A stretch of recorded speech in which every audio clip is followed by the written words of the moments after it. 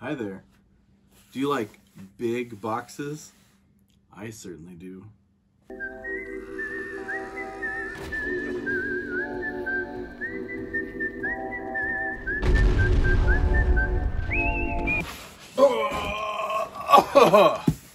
So when this big box came, and I get a lot of this is from a big bad toy store. I get a lot of um, I make a lot of orders through them. They're slightly more expensive than a lot of other toy retailers, but they have a really cool feature that I love.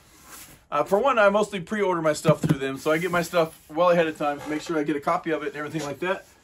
But um, one of the features I really like about them is they have a uh, loot box feature. So basically, say I pre pre-order something like six months before it comes out. Once it comes out, when I bought it, I just put it add to my loot box. So it will once it comes in, I'll, pay for it when it comes in. They'll put it in my loot box, which is basically warehouse space storage in their uh, company.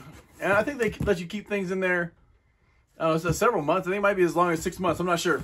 It's it's several months for sure. But I'll often get uh, a bunch of things. I just have them sit there in their warehouse, and once I see some things start needing to be shipped or things like that, then I'll go ahead and hit um, send me my loot box or whatever, and they'll ship them all at once. So this is months and months. Some of the stuff I bought years ago on pre-order just finally came out, but this stuff's been sitting in storage in their warehouse for months. And then they'll they'll let you they'll send you an email or whatever saying, hey, your storage uh, time is about to expire, something like that. Um, so pay for your shit, and I mean you already paid for it, but you just have to pay for the, the tax and the shipping. But anyways, uh, every once in a while they will, I'll click, uh, you know, send me my loot box, and it's fun doing that because like this, this is the biggest one I've ever gotten because I think there's a giant Godzilla in here, I, I think. But um, it's really fun because you get a big box with all kinds of shit that you've forgotten that you've ordered throughout the year. It's really neat. So I really enjoy, uh, and I'm not sponsored by Big Bad Toy Store or anything like that.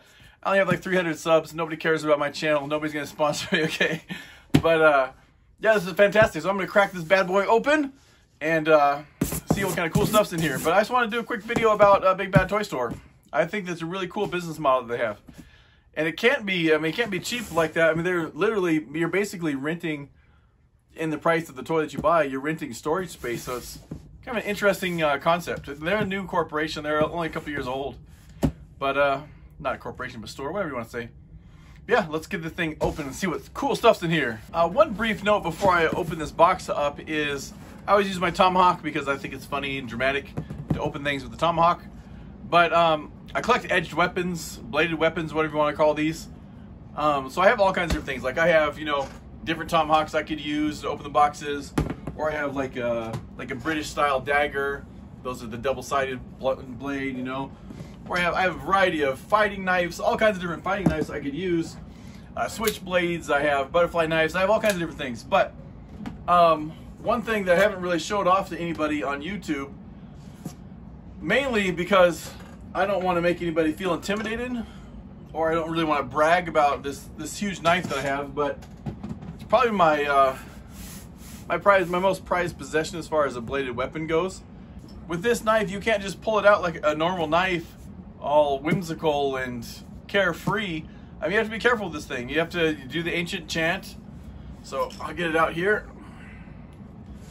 By the power of Grayskull, I have the power! Ah. Spyderco. Spider Co. makes excellent knives. This is by far their smallest knife.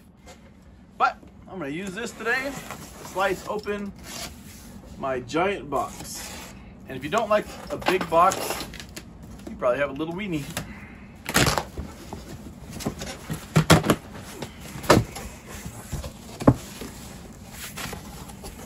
All right, we are packed full, ladies and gentlemen. We are packed full.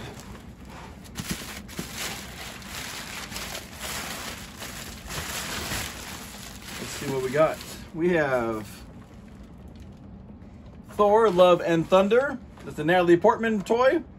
Natalie Portman deserves her own toy. I have a big poster of her from Leon the Professional. She was great even as a child actress. We have, ooh, very nice. The 40th anniversary collectible uh, He-Man. This, this, is the 40th anniversary edition. Very cool.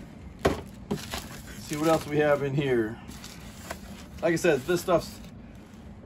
Oh, this is the 50th anniversary Hedorah. Hedorah is the uh, smog monster, the toxic waste monster, whatever you want to call it. I think it was the, called the Godzilla versus the smog monster when it came out in the States. But Hedorah, this is a, a fit, uh, collectible Hedorah figure from SH Monster Arts, my favorite toy manufacturers. Oh, we have the Omnibus, the first Omnibus for Conan the King, uh, illustrated by John Buscema and uh, written by Roy Thomas. Or Buscema, Bus Buscema? Buscema? I've always called him Buscema, it's probably wrong. But he's one of my favorite Marvel artists, and he especially his renditions of Conan and uh, like Savage She-Hulk were always really good. We have G.I. Joe. This is uh, Snake Eyes. It comes with the wolf. There's a, a, story about why this means so much to me, but that's for another time. And let's see, and then the big piece la resistance is my giant 30 centimeter Godzilla. Oh. There's the Godzilla. I have no idea if this is in frame or is not in frame, but I'll crack this thing open and give you guys a quick peek at this one. The rest I'm, I'll open on my own later. All right, so here's that big Godzilla. What's in the box? Let's find out what's in the box. So this is one of the X Plus range. Um, a couple people on Twitter told me about X Plus. They said it was awesome. I looked into them. They're huge. They're collectibles they make are huge. They're two, three, four hundred bucks a piece usually, but um, I don't think they're super posable like at SH Monster Arts. But I don't play with my toys. I just have them sitting out to look cool. So this should be right up my alley. I've ordered some other X Plus things. There's a big Mecha Godzilla coming. Mecha Godzilla is fantastic always. Let's open this bad boy up. I do not want to wreck this box, but box definitely looks like it wants me to wreck it. So we're to try the bottom.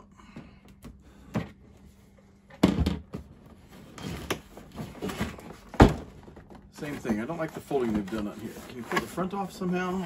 One eternity later. All right, there we go. That's better. You guys right now are seeing this before I can see it. That's not fair in life. All right, very cool. Let's see. Very excited about this.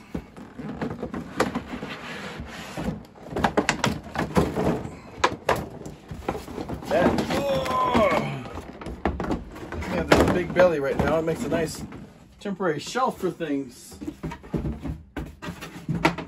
That's one big ass blister pack. All right, let's see how this bad boy is held together. More tape. Hiya!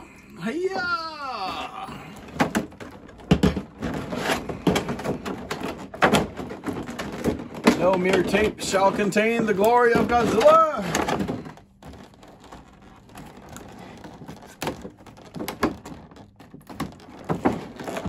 One on the bottom. No, there's two on the bottom. There we go. There we go. arguably the most important part of any Godzilla, the tail. I would say in the case of Shin Godzilla, it is the most important part. But this is not Shin Godzilla. Instruction manual in case you can't figure out how to put the tail in the hole. And again, kind of like the big box thing, if you don't know how to put the tail into the hole, don't be embarrassed to ask for help.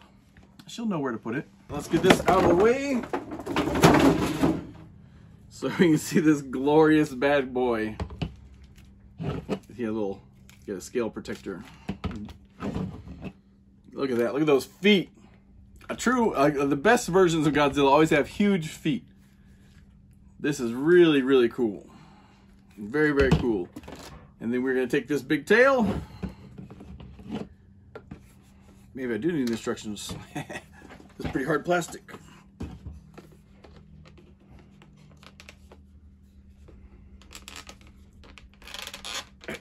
karma for making fun of the fact that it came with instructions.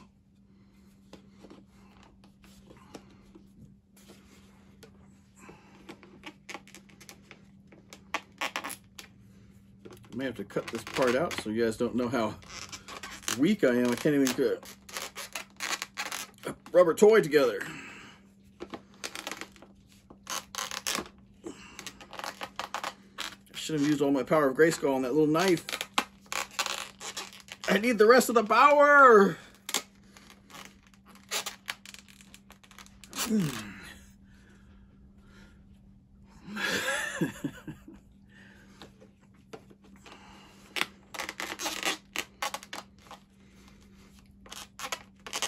I can see why these don't come pre-assembled.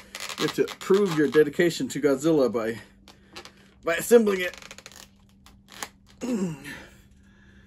I could run this under some hot water and get the rubber softer, more malleable, but I don't really want to get my brand new toy wet, so we're gonna try the American style of brute force.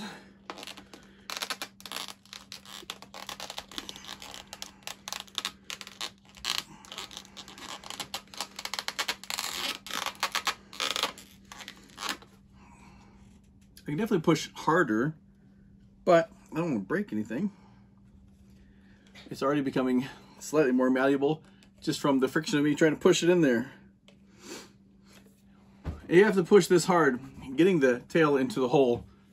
Just stop. You probably weren't doing your, your pre-maintenance. You get that hole nice and lubricated, nice and moist, excited to beckon in the tail.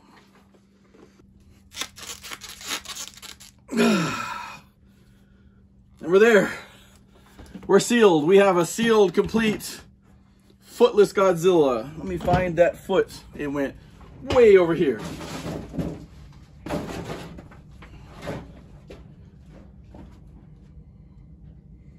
Oh, yes. All right. So it looks like there was actually a dab of glue in here, so I'll have to re-glue that later. But, put this foot back. And we have our fully assembled Gojira! All right, well here we have the post-glued final version of Godzilla here. This thing is fantastic. I do not have shelf space on my Godzilla shelf, so I have to move some things around. But here it is. It's very, very cool. I like it very much. X plus, thumbs up. And then as an added bonus, I'll crack open this Smog Monster box. I'm not gonna take this one out of the box right now, but I'll take it out of the, the outside box for you guys.